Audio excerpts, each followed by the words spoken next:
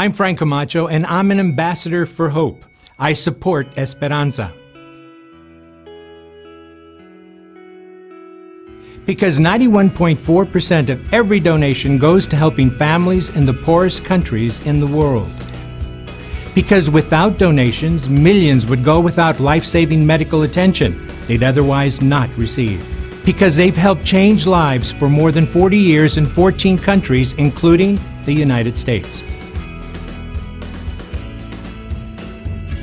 Esperança brings hope, provides health, and transforms communities. Please join me and donate today.